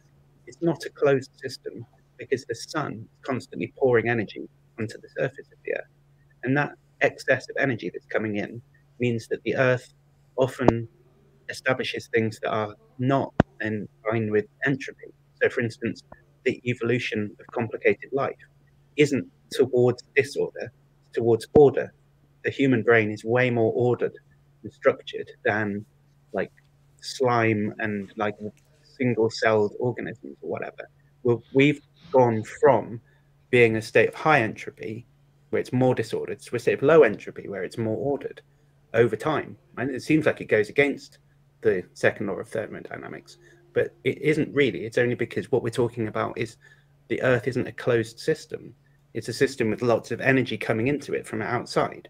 So if you were to actually look at what the uh, second law of thermodynamics applies to, it has to apply to kind of totality, where it's not getting any uh, you know, energy or whatever that can override this tendency towards entropy. And so then what you've got to do is assume that the universe as a whole, in, on its grandest of scales, isn't getting any energy from anywhere else. I mean, and it, that starts to become a little bit flaky, right? Like, I mean, I don't know if Boltzmann or whoever it was that came up with this um, law of entropy was able to say about what the universe is like in its sort of earliest stages or in its deepest levels of structure. But you know, maybe before the Big Bang, there's um, a, a prior universe, right, which collapses down to a point, and there's some kind of energy bounce that kicks off uh, our phase of the universe. Now, if that's right, then what we're talking about isn't just one closed system that has an edge at the Big Bang, but actually that's like uh, like if we go back to the Earth equivalent, it's like the Earth is just this thing, but right next to it is something else that's pouring energy into it, and then you can have contraventions of uh, entropy. And as far as I understand it, and I'm not a physicist, but as far as I understand these things, the the theories about what is going on at the earliest points of the universe that we can measure are all over the place. And there's lots of competing theories, and they're often very different to each other, and they're often very speculative. So things things like big bounce or uh, multi-dimensional stuff, or even just gravity in general, how that works, what it even is, what's going on there. It's it's a field with lots of things that people don't really know for certain at all. And I think anybody resting too heavily on extremely speculative um, fringe areas of physics liable to find that it doesn't really support the weight that they're trying to put on it. Like anything could happen almost in the theories, these speculative theories about the origins of the universe over the next period of science. Uh, we might find huge revolutions in how we think about this type of stuff. Um, or Yeah. we might find that we can't get any make any progress at all. Maybe it doesn't go anywhere. But you know, there are lots of theories on the table, and the one Okay. that says the universe began in the way that the theists talk about it, that type of theory isn't really the main theory, at least anymore. Um, so I think when it comes to the science, my I'm going to say, look, I'm not a physicist, so go and talk to a physicist about it. But if you really want Uh-huh. to talk to me about it, if even then you still want to talk to me about it, I'll say it's really, really complicated, and the physicists don't agree with each other about that. Um, and a, phys- a philosopher trying to tell you what the physicists should say about that feels wrong. Um, but Yeah. I think until they can agree together on what they think, which they certainly don't at the moment, uh, we shouldn't really pay too much attention to it, right? They should. It's interesting, it's fun, but like, don't base any life decisions based around what they say. Like, don't become Yeah. a Christian because science tells you the Big Bang happened. That would be crazy. Um, so yeah, I would just park Yeah. all of those things to do with physics, unless you're a professional physicist who specializes in that one particular bit of physics. Yeah, that's a really good answer. Good. So I think we can quickly conclude. Like we have just two more questions. One is about fine tuning. What Okay. uh, what's your view about fine tuning arguments? Well, um, I guess I generally think that those fine tuning arguments, again, sound like they have a very high uh, scientific pedigree, and it can be difficult when approaching them as a layperson or even as a philosopher to be able to. You, it feels like you have to do lots and lots of very complicated physics to get your head around what's going on. Um, but I also think that these arguments generally have a kind of uh, soft underside. So when I did a debate with a, a guy, Luke Barnes, who's a he's a Christian, but he's also a kind of astrophysicist as well.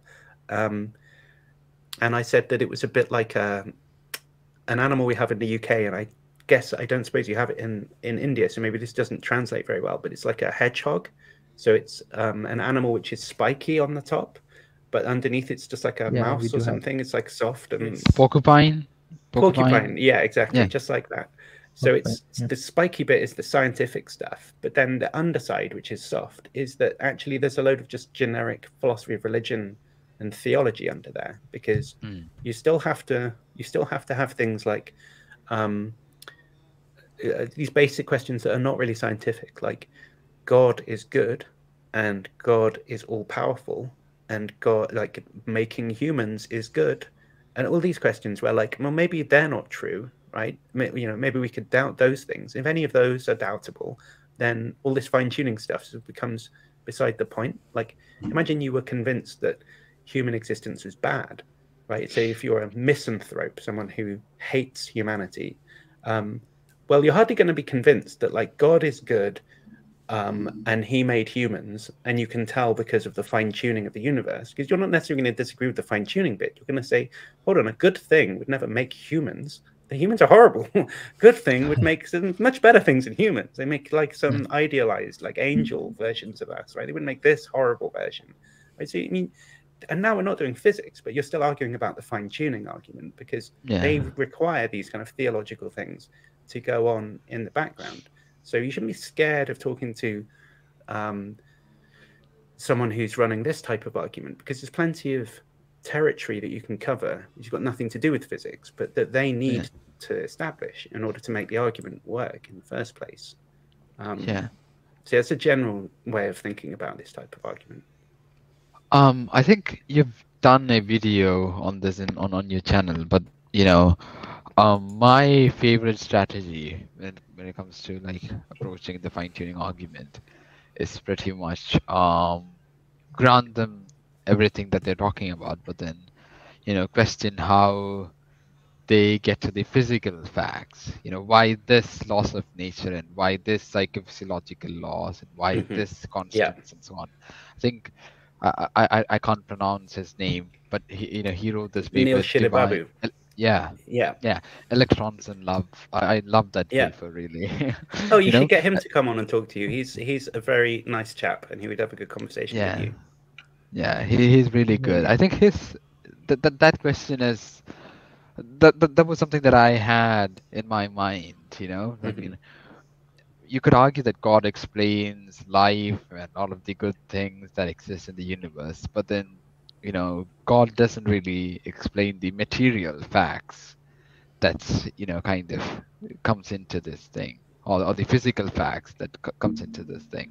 Why wh- why do life exist in this particular manner with with you know uh, these constants and these laws of nature and these psychophysiological laws? Yeah, I don't that's see right. any any good reason as to why God would have a preference on that.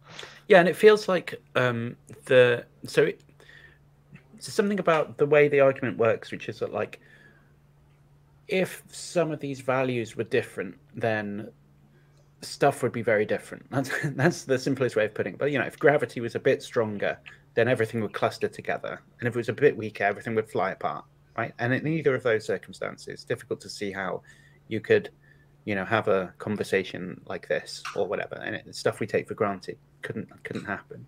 Um, but you know, if we tweak a bunch of the dials, so maybe we make gravity a bit weaker, but we make electromagnetism a bit stronger, whatever. So we're coordinating lots of values on the dials. I don't know that there isn't another bunch of settings that gives you stable structures. Maybe the matter, as we know it, wouldn't exist, but maybe some other thing would exist. And who knows? If all you need is complexity or something, maybe we some other type of life that could could take place. I don't know about that.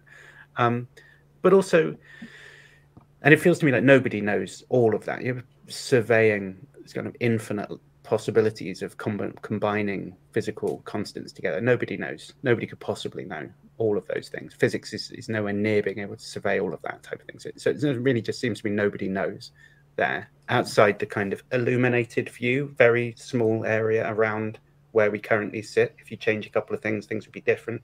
But beyond that immediate setting, we just don't know what, what it would be like at all. So um, there's that idea. But then also, if you think about it, why would God be so constrained, right, such that only, you know, combining these values in this way would mean that it's a very delicate balancing act? I mean, isn't he responsible for how they combine together as well? Right? Where did Yeah. where does that come from? And if he's completely all powerful, then he should be able to do what he likes, including choosing what range of values is life permitting in the first place. So that Exactly. fine tuning theorist wants to sort of have a pre existing situation which is beyond God's control in order to argue that God, the supreme being who's all powerful, must exist. And they're almost in tension with each other, those those two ideas. Like he should be able to overcome this weird property that, that they can only be combined in a very small amount of ways and just change it and do it differently. Um, so it being like that is almost evidence that he doesn't exist because if he did, you'd think he would just combine them in, in a way that was much more straightforward. Yeah. Um, so yeah, there's there's loads of little cracks in the fine tuning argument that are really interesting when you start diving into it. yeah. Um, so I think it's a fruitful area to research. I don't think it's a stupid argument, but I also think it's far from uh, convincing or, or anything to worry about or lose sleep over. yeah. Yeah, what do you think about the multiverse objection? Like, a lot of people raise that the existence of multiverse may uh, solve the fine tuning problem. So, what do you think about it? Well, it provides the. I mean, a lo- a lot of the literature is set up where, um, it- you know, there are two competing hypotheses that explain the fine tuning. So the fine tuning just means if you change things a little bit, the structures we take for granted would become impossible. That's all fine tuning means. And then how do you explain, you know, that it's that the universe we live in is life permitting if it seems unlikely if you just set the dials at random that it would land on um, a value that's life permitting. Like how come right? So one view the theistic view is well that's what god wanted so that's why it happened. So it being that way and unlikely to happen by chance is evidence that god did it. But the multiverse hypothesis would say something like well what if the every possible way the dials could be set is a universe that's that is is is like that. Now, if that's right, and there's a multiverse, um, then one of the ways the world could be is like this. So this world would exist somewhere, and then the idea is, well, it's not surprising that we find ourselves in the one life permitting universe because you couldn't exist in any other one apart from this one. So like you have to be here. So some kind of like anthropological reasoning or whatever. You start from your own situation, but it's like not surprising to find yourself here because this is the only one that you could be in the first place. So I think that's sort of the most basic contours of how the multiverse uh, idea has come into this. It's that like it's a competing hypothesis to explain away the data as the theistic one. So what I was trying to do a moment ago was get into the argument before you get to that stage to undermine the credibility of the theist um, idea in here anyway, just to say like it's not clear that it's a good explanation. It requires all this theological baggage, blah blah blah blah blah. But the way the multiverse thing comes into it is you go much further down the track, concede a whole bunch of stuff, and then say, well, here's a here's a hypothesis that looks like it's at least as good as the theistic one at explaining the data. I mean, if all of the possible universes exist somewhere in this multiverse, then stops being surprising that this universe is life permitting, because all we mean by this universe is the one that we find ourselves in, and obviously we're going to find ourselves in a life permitting universe. So, does that does, does that make sense? Yeah, but but then there is like this world objection against the multiverse objection, right? Like why this world is fine tuned. The fine tuning argument is not addressing like why this world is fine tuned. It just says that some world is fine tuned and we happen to be in that world. Well, but we so it's not like there's it's not like there was a lottery and you were sent packing off to one world, like sent on a bus through a portal, and Mhm. you know there's a billion different worlds you could land in, and like most of them are just like energy levels that would destroy you immediately or whatever, or crush you immediately, stuff like that, and you just happen to land in the one that's life permitting, um, because there's a kind of selection effect. Like you wouldn't see anything unless you were in the life permitting universe. So just asking the question in the first place, it's not you're not saying, well, why did I end up in a life permitting universe? That's getting it wrong. Like you had to be in a life permitting universe. The question is, why is there a life permitting universe at all? And then the think- multiverse explanation is just, well, every universe exists somewhere. So it's not surprising that a life permitting one exists. Do you think you I don't know can draw? Yeah, I think I think that that explains it. But but do you think there's a parallel between like galaxies, life permitting galaxies, and life permitting universes? You know, when when it, when it comes to multiverse, it's it's sort of like you have a lot of galaxies, right? There are different types of galaxies.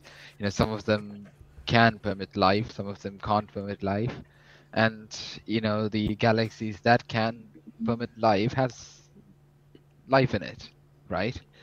And Uh-huh. you know the universes that can permit life has life in it, and the universes that can't permit life doesn't have life in it. So it's sort of the same thing, right? It's kind of like that. Yeah, yeah. The, the only difference, I suppose, is kind of radical dis- differences between universes would be much more than the differences between galaxies in the same universe. You know, different galaxies in our universe have the same. I mean, presumably, never been there to actually check this, but presumably they have the same uh, chemical structures and Yeah. same laws of physics and stuff, and maybe they have the same evolutionary processes for life that appears. So although the life would be kind of different, it would still, it's still maybe they favor uh, certain things like opposable thumbs or like two eyes or I don't know. Maybe evolution Yeah. like trends towards certain things. So they might be different, but if they're in the same universe, there's reasons to think that it wouldn't be that different.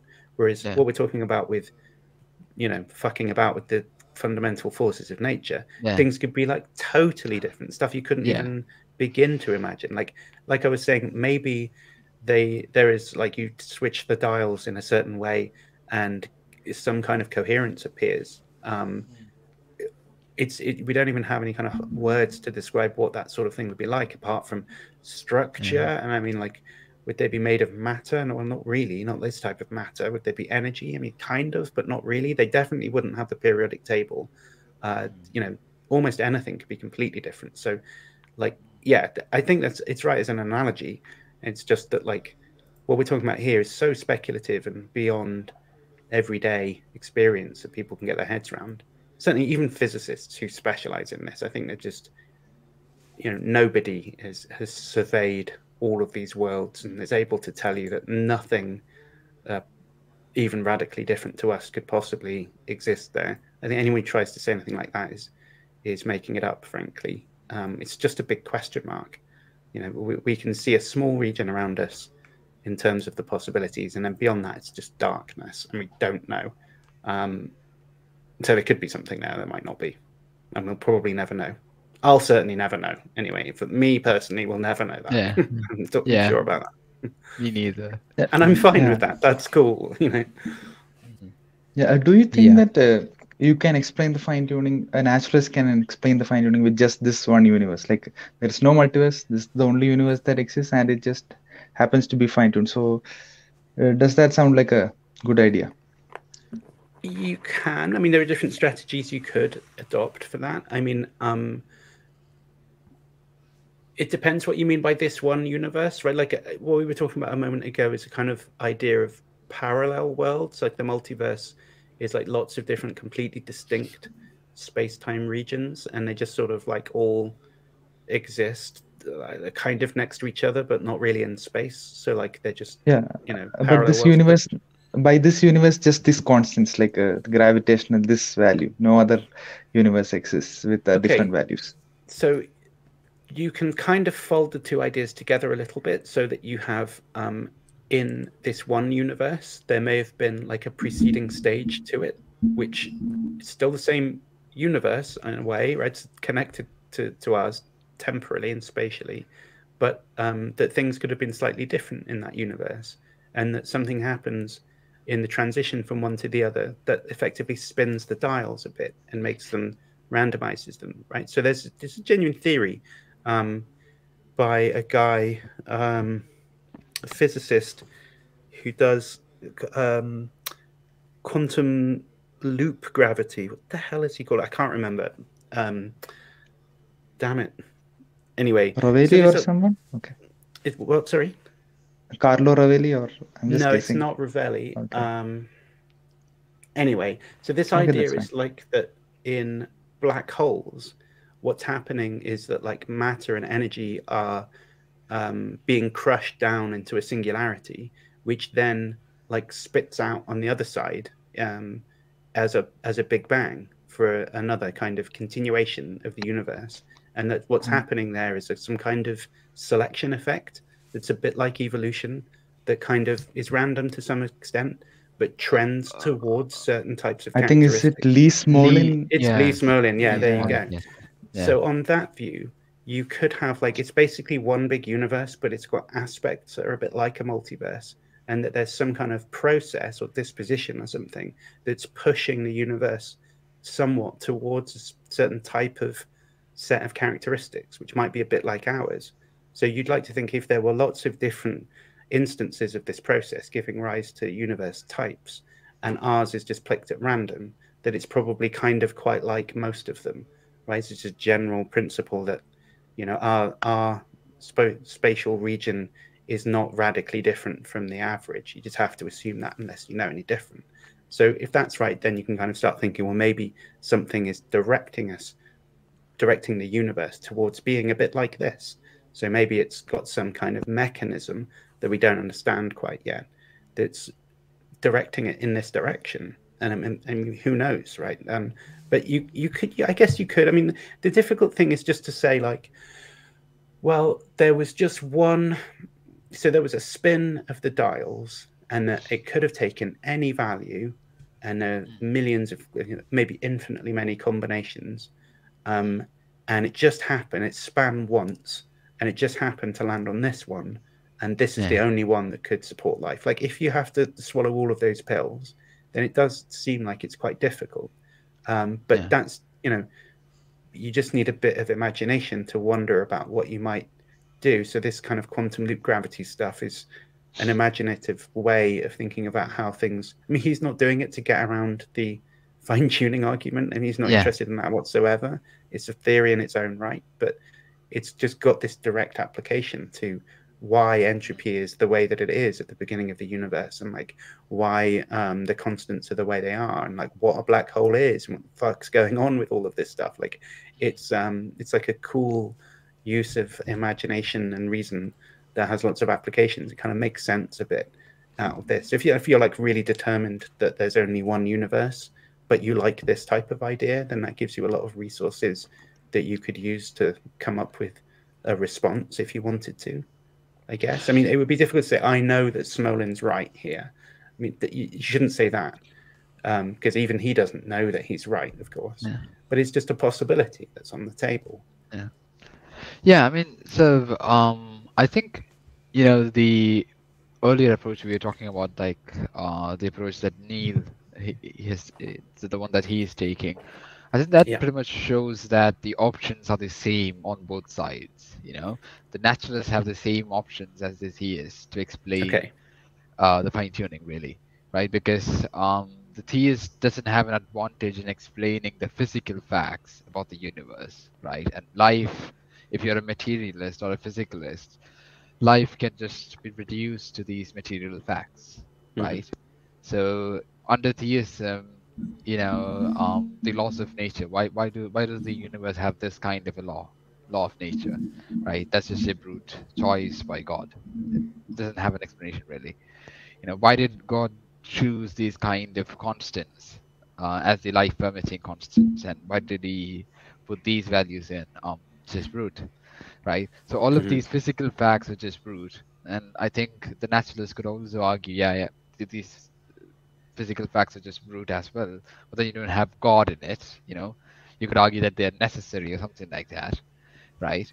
And then, you know, you would still explain life because life is just reduced to these physical facts, right? You can reduce life to these physical facts, so you know you have a naturalistic account of a uh, of of fine tuning, right? And it's as good as the theistic account, right? Yeah, I like that. So it makes it sound like the fine tuning argument is basically just a version of the cosmological argument because Yeah. there's just lots of contingent things, and the contingent things we're focusing on here are the dials of the fundamental parameters of the universe, like the strength of gravity, Yeah. weak nuclear force, that type of thing. Um, and they're contingent. Something must explain them. They think God's choices explain them.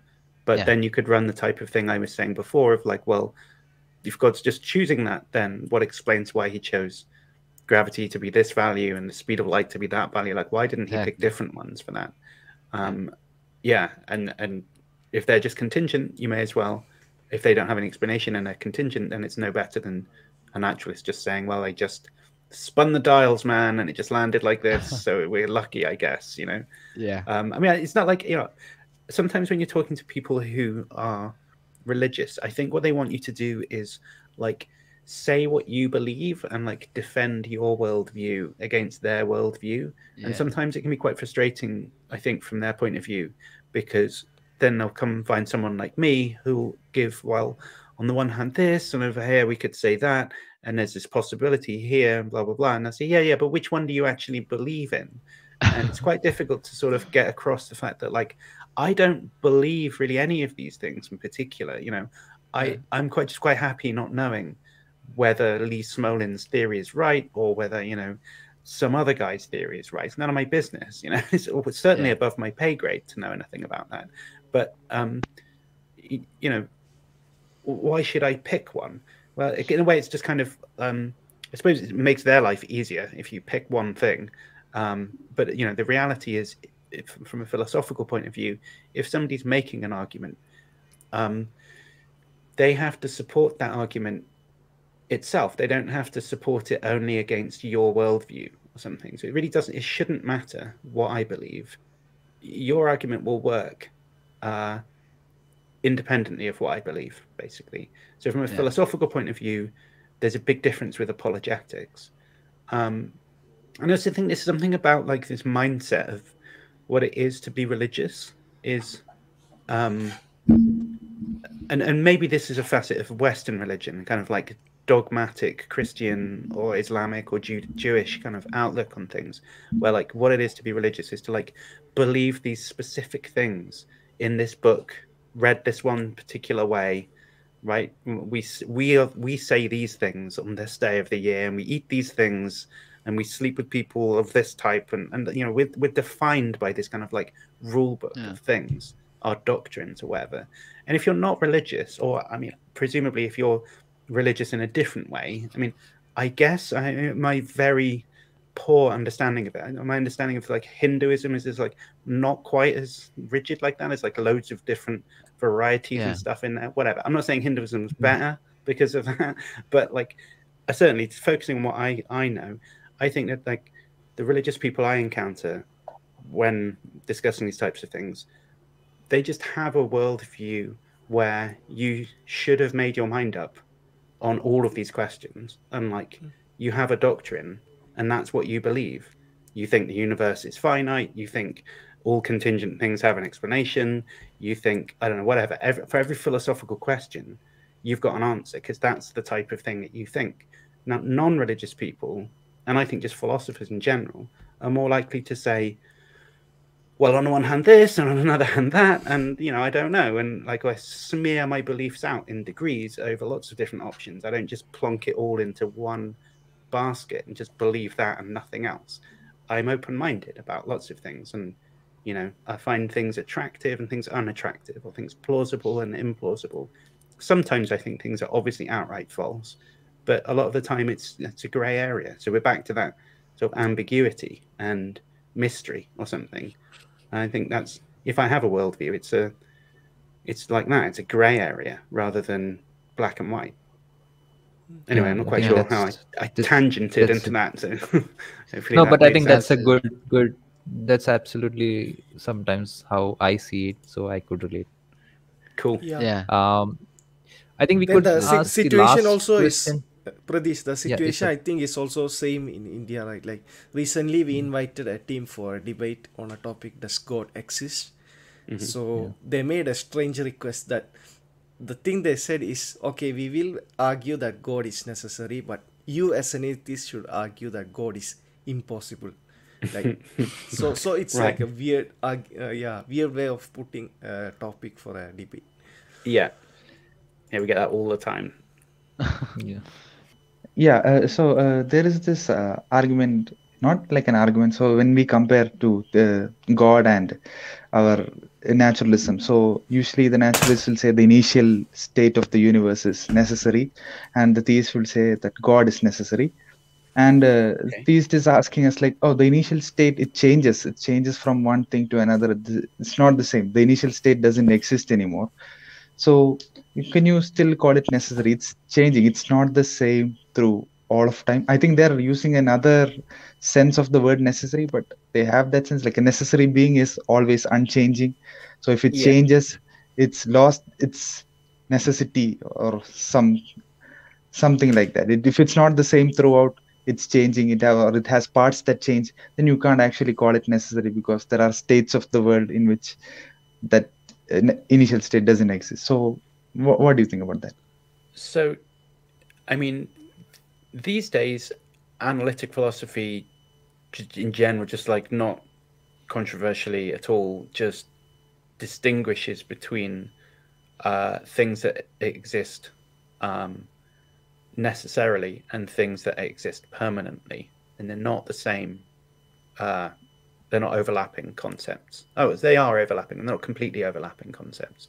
So, um, what it what does it mean to be necessary? Well, the general working definition is um, and this isn't particularly helpful, but like I think it's helpful in this context is that like for it to be something to be necessary just means that it exists in all possible worlds, right? So any, any way that a world could be, it exists in that world, and in, in if that's if that condition is met, then that thing is necessary.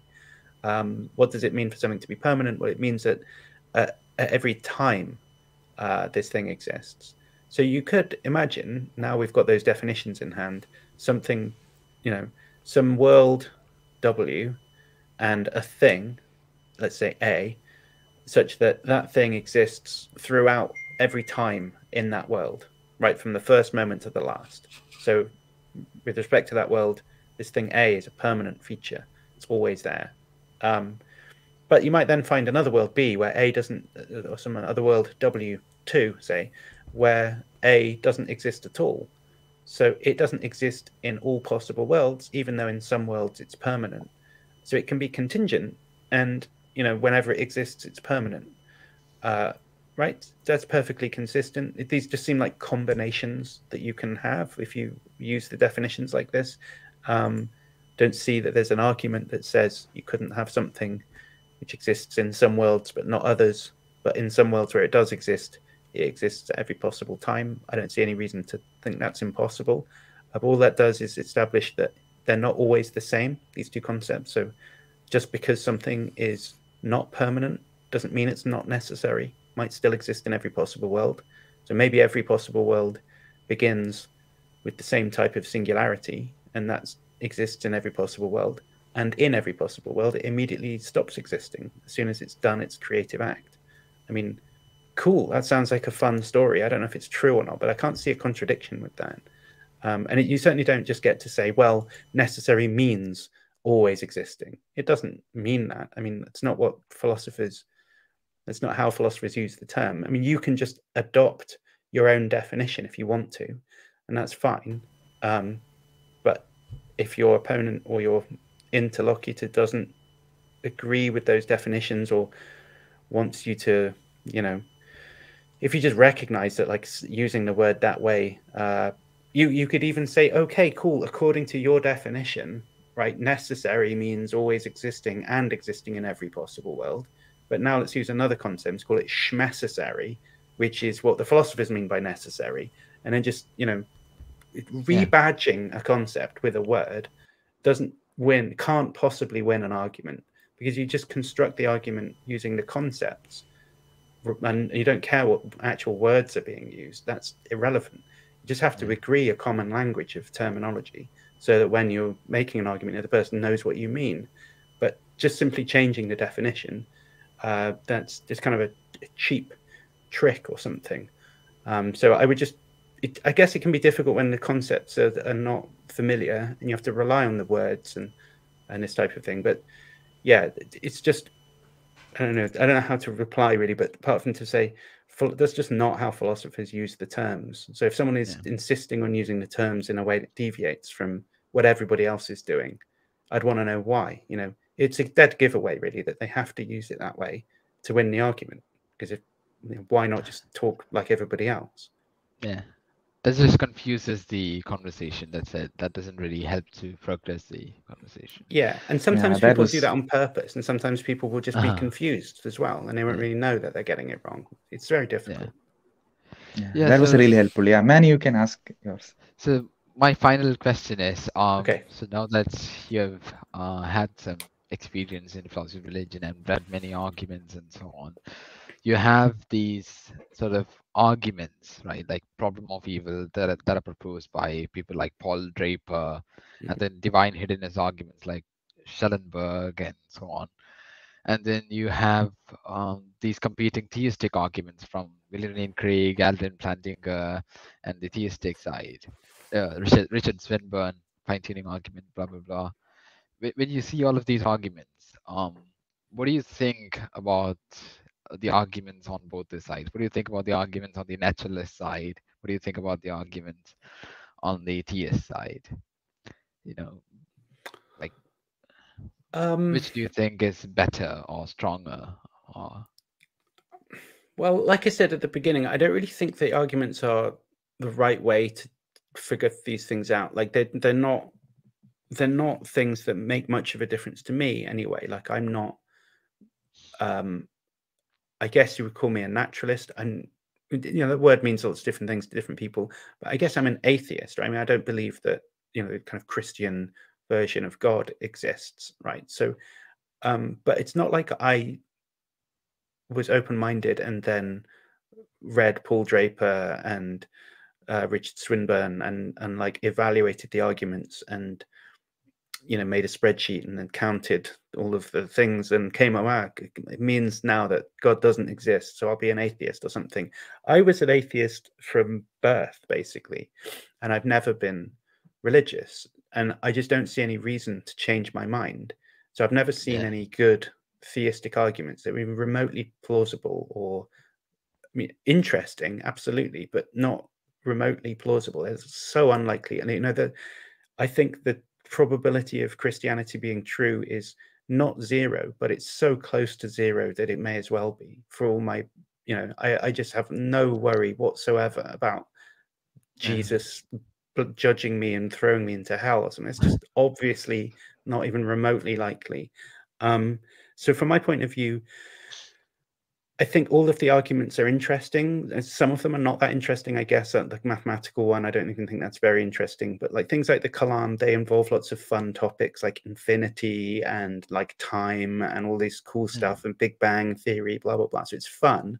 So if an argument's fun, and I'm interested in reading about it, but um, I don't really think they're they're good for sorting out, like I said, confusions and working out whether you believe contradictory things. So they can be useful from a psychological point of view. I think they can be dangerous if you use them to try and hit people over the head with them to make them believe the same thing that you believe in, or you reassure yourself that you're believing the right thing by constructing this big castle of rationality that you live in and that no one can get you because you've got all of these uh, cool arguments figured out or something like i guess you can do that if you like but it seems a bit weird to me.